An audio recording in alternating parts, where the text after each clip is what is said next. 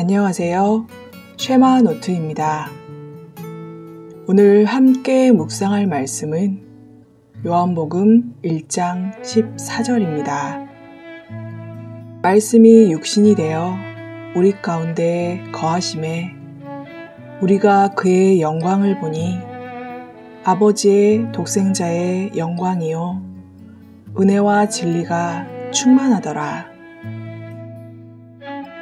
영원전부터 아버지 하나님과 동등한 영광 가운데 거하셨던 아들 하나님께서 육신을 입고 이 땅에 오셨습니다. 말씀이 육신이 되어 주셔서 임마누엘의 하나님으로 우리 사람들과 함께 해 주신 것입니다. 여기서 말씀이 육신이 되어 우리 가운데 거하신다고 할때 거하신다는 말은 천막을 치다, 장막을 치다 라는 의미를 가지고 있습니다.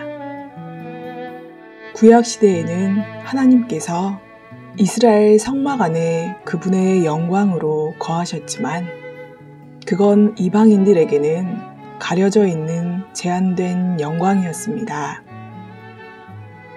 하지만 하나님의 때가 되자 그분께서는 육신이라는 장막 안에서 사람들 사이에 거하셨는데 그분이 바로 하나님의 아들 예수 그리스도라는 것입니다.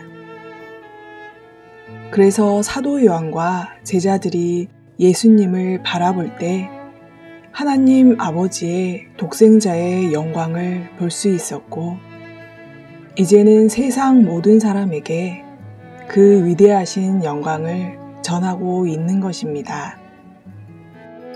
예수님께서는 그분의 거룩하시고 흠이 없는 삶을 통해 하나님의 영광을 사람들에게 보여주셨습니다. 그리고 이제는 그분을 믿고 하나님의 자녀로 거듭난 성도들 안에 하나님의 영광의 빛으로 거하고 계십니다. 성도님들 안에는 구약 사람들이 감히 고개도 못 들 정도로 위대하고 전능하신 하나님의 영광이 충만하게 거하고 있다는 사실입니다. 그렇다면 우리 성도들은 스스로에게 질문을 해봐야 합니다. 나의 삶을 통해 하나님의 영광이 드러나고 있는가? 아니면 그분의 영광이 가리워짐을 당하고 있는가? 예수님처럼 온전한 삶으로 하나님의 영광을 풍성하게 드러내는 저와 성도님들이 되기를 기도합니다.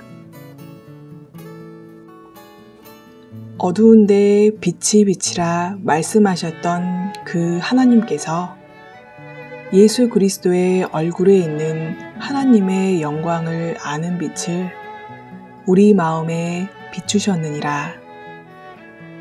고린도후서 4장 6절 말씀. 아멘.